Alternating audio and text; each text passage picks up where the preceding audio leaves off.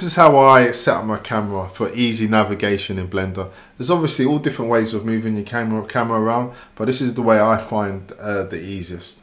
So the first thing I'll do is I delete my cube, hit delete, and the next thing I'll do is I select my camera, and then I'll pan over to this uh, little icon here, click on it, and then I click down here, press zero, return, zero, return, zero, return, and then I move down to my rotations, zero, return, and then the final one, zero, return, zero, return.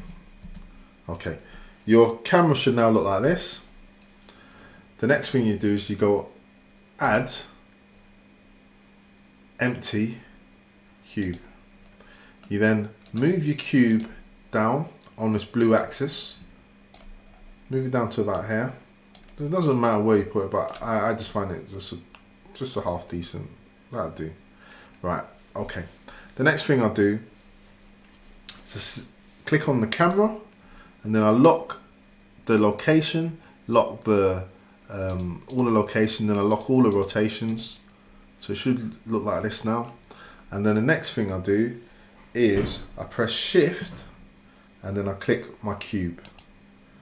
And then what I then do is I go object and then I go parents and then you and basically I'm making the um, camera a child object of the cube. So no matter where the cube goes the camera would always look at it. You can obviously use the hotkey if you want but I just thought I'd show you how to do it if you're a new user of Blender and you're not familiar with all the hotkeys.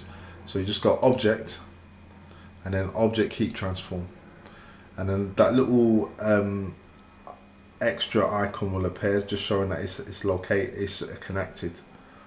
Okay.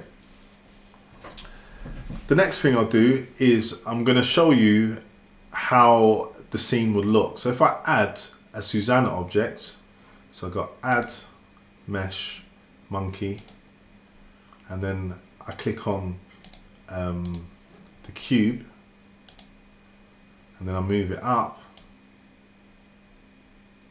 and then if I go to animation so this is the camera view in my animation uh, view. So anything comes to render this is what it would look like.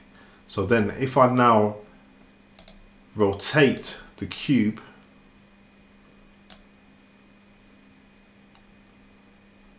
that's the view. And obviously you can move in and out. You can also uh, zoom in and out just by um, clicking on the camera now. And you can rotate. So if we positioned. And rotated. And we can do our, our movements. So this is I hope you uh, this this tutorial has been of some use. It's a very quick one.